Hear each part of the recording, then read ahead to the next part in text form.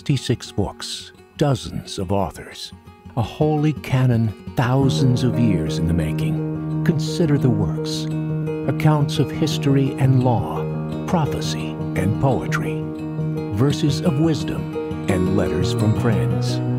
Now, look again. What do you see? Behind the fallen creation, where the first son Adam led all humanity astray, there is the faithful Son, a new Adam who fulfills the promise and crushes the serpent's head. In the waters of the flood, just as God used Noah to save his family from judgment, there is a greater vessel by which all God's children are saved. On the altar of desperation, just as Isaac asked his father, Where is the lamb for the sacrifice? comes the answer from the wilderness Behold the lamb. For a thirsty people, just as Moses struck the rock in the wilderness, there is a rock whose living water satisfies forever. In the battle against Goliath, where an unlikely king became a champion for his people, we see the shadow of a greater king who defeats sin and death to claim our victory. In the long exile of a people, Isaiah's eyes were opened to a vision of salvation and the eternal journey of God's people to the promised land. Until finally, in humble manger lay the hope of the world, the King who reigns from a throne of straw to Calvary's cross, to the deathless tomb of eternal Easter. Every story casts his shadow. Every word Every verse bears his testimony. The Holy Messiah, Jesus Christ, Eternal King.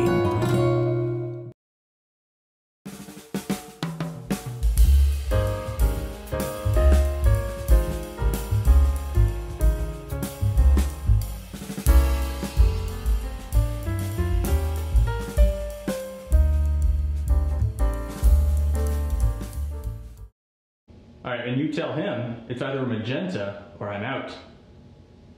Honestly, some people's kids. Oh, hey, I'm Rob Boss, and I'd like to welcome you to the 182nd episode in our online Sunday school series. I hope you're having a fantastic day, that you've got your paints out, and you're ready to paint along with me. And I'd like to thank you for inviting me back into your home again. As we do each week, on your screen, you should see colors we're gonna need for this week's painting. So you go ahead and get your supplies, I'll get mine, and we can paint together. Perfect. Now, we've been doing some great work in the last week. I asked you last time if you guys had any questions, and little Abe from Aylmer, Ontario sent in his question. He said, How come when you paint, you're able to paint multiple colors at the same time? Oh, well, with years of experience, learning new painting techniques and very expensive technology, that's how it's possible. And I'm sure one day you'll be able to do the exact same. You know, I was just thinking about some of the paintings that we'd done previously. We painted a church to remind us of the purpose of the church, and we painted a question mark last week to remind us of that big question, when will Jesus return? And the answer, of course, is that we don't know. It's only God who knows the answer to that question. And today, we've got ourselves a brand new canvas. Isn't it great? So much opportunity to be creative. This week, we're going to paint multiple churches to remind us that Jesus had a message to seven churches in the book of Revelation. So you feel free to paint them however you want, and I'll give it a paint and go myself. So we got to start with our favorite colors over here and we just give it a go. Remember, you don't make mistakes. You just get opportunities to do new things. All right, that's starting to look really nice. Yeah. Do you know the names of those seven churches? Well, by the end of the Sunday school today, you will definitely know them. And of course, here's my favorite part. We've got to clean our brushes. So, just like that. Perfect. Thanks for joining me. I've been Rob Boss, and as I always say, there's nothing wrong with having a tree as a friend.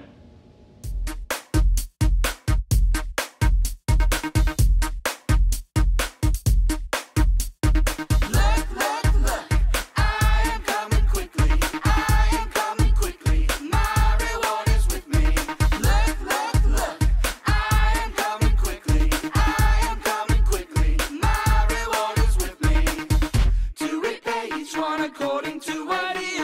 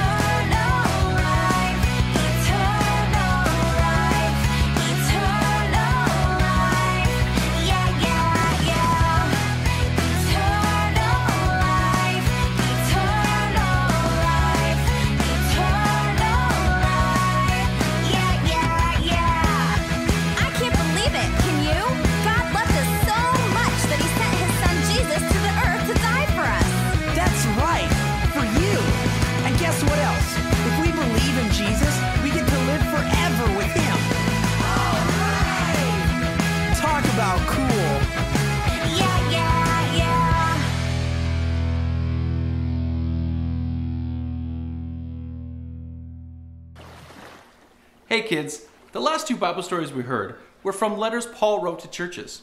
Now, Paul didn't write the story we are going to hear today. The Apostle John wrote this story. And here's a picture of John, and these are the lampstands. How many lampstands are there? One, two, three, four, five, six, and seven.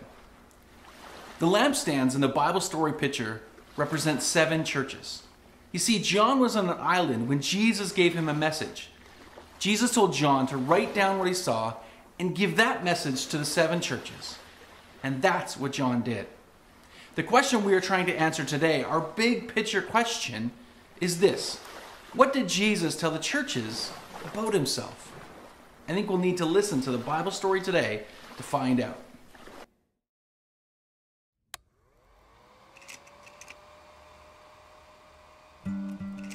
The Apostle John was on the island of Patmos when he had a vision. John saw seven gold lampstands for the seven churches. He saw Jesus, and Jesus told John to write down and send a message to the seven churches. These are the messages to the seven churches. To the church of Ephesus, you work hard and do not give up. You do not accept people who do evil things. But I have this against you you do not love well like you did when you first believed. Turn back and love like you used to. Pay attention to this message from the Spirit.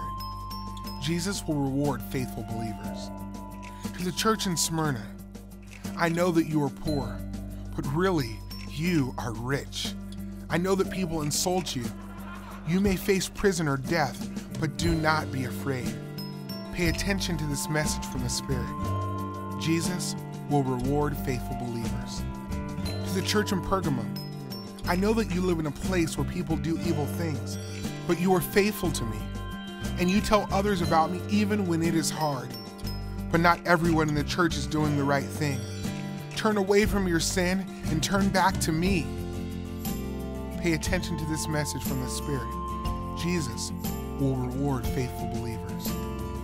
To the church in Thyatira, I know about your love, faithfulness, and service. You do not give up. But there is a wicked woman with you who teaches things that are not true, and some of you believe her. I will punish her and those who follow her teaching. To those who don't, keep believing the truth until I come. Pay attention to this message from the Spirit. Jesus will reward faithful believers. To the church in Sardis, people think you are alive, but you are actually dead. You used to have a strong faith, but now you are weak. Wake up, be ready for my return. Turn back to the Lord and live for Him. Pay attention to this message from the Spirit. Jesus will reward faithful believers. To the church in Philadelphia, you are a small church, but you listen to me and obey my word. I have opened the door for you to enter my kingdom. I am coming soon. Be ready and keep believing. Pay attention to this message from the Spirit. Jesus will reward faithful believers. To the church of Laodicea, you are not hot or cold, so you are not good for anything. I will spit you out of my mouth. I stand at the door and knock. If you hear my voice and open the door, I will come in and eat with you, and you will eat with me. Pay attention to this message from the Spirit. Jesus will reward faithful believers. Jesus loves the church. His message to the seven local churches called them to turn away from their sin and remain faithful to him. Jesus saves sinners and changes them to be like him. It's review time. Here are eight questions for you to review. Number one Who wrote the book of Revelation?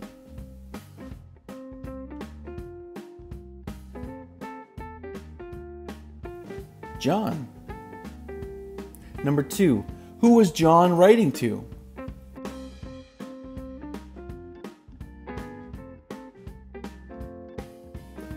To the seven churches in Asia. Number three. What did John say Jesus will do for believers who are faithful? he will reward them. Number four, did the church in Ephesus love Jesus more or less than when they first loved him?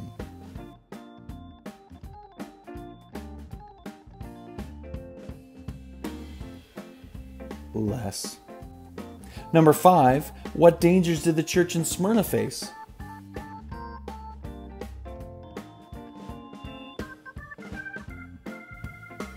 Prison or possibly death. Number six, what did Jesus tell the church in Pergamum to do?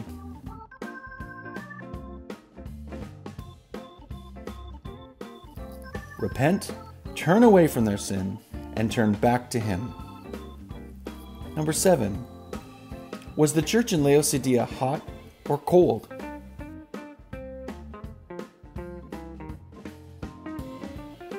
Neither.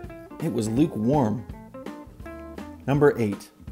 What did Jesus tell the churches about himself?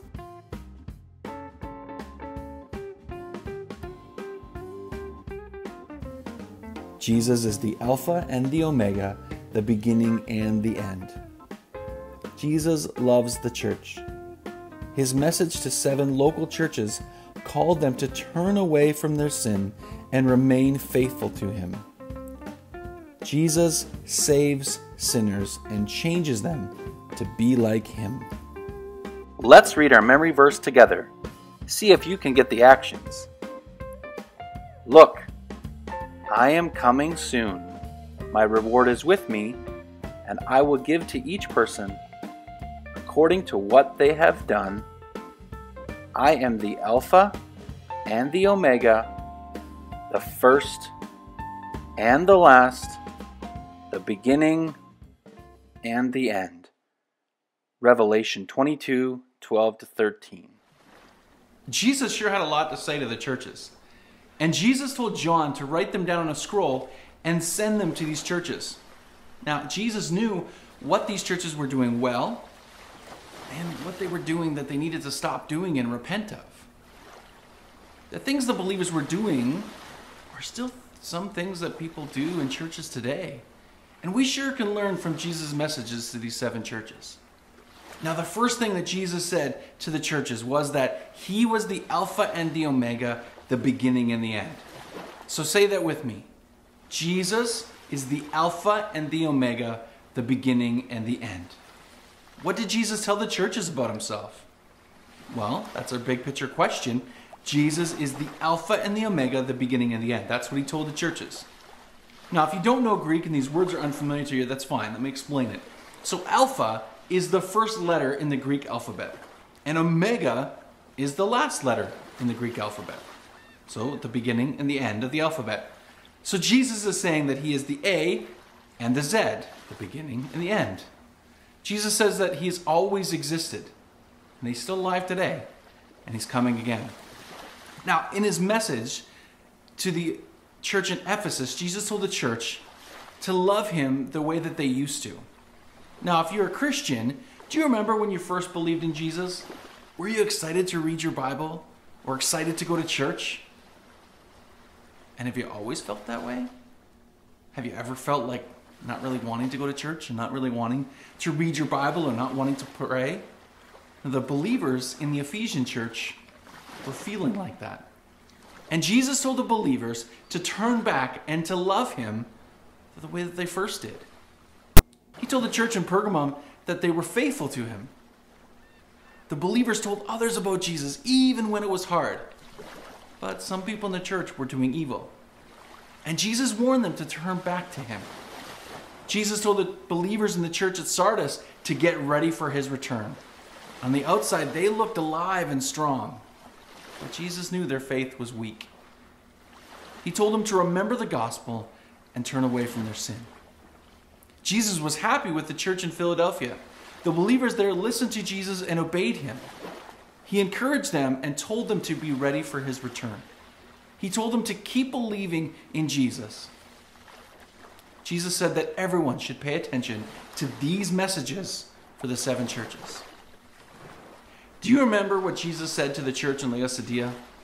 He said that they were lukewarm, not hot or cold. Think about hot water. People can sit in a hot bath and it heals sore and achy muscles. And cold water is really refreshing when you're thirsty. Room, room temperature drinks, when they should be hot or cold, are kind of yucky.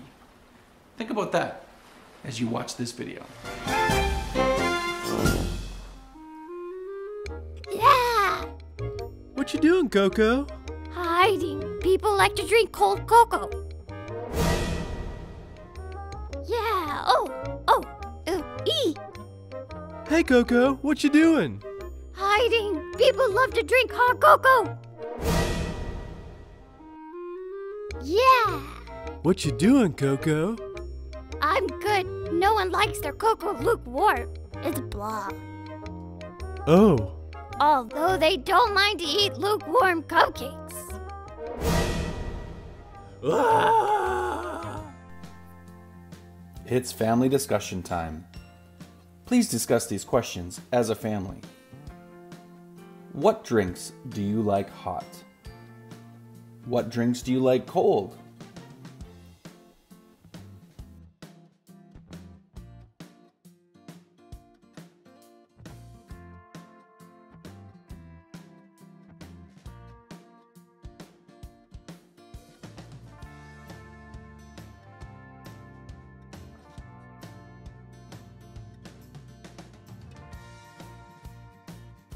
What does it mean to be lukewarm?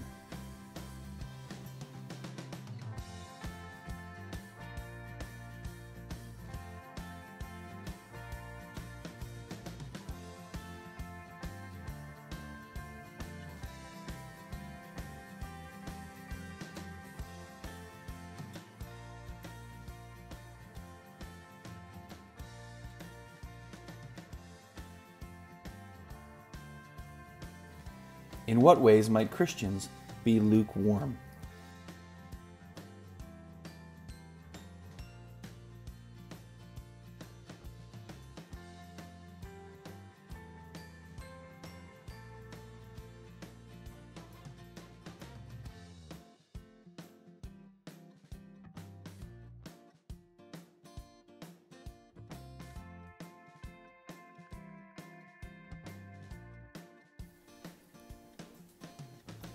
Jesus said that believers at Laodicea were lukewarm, not hot or cold.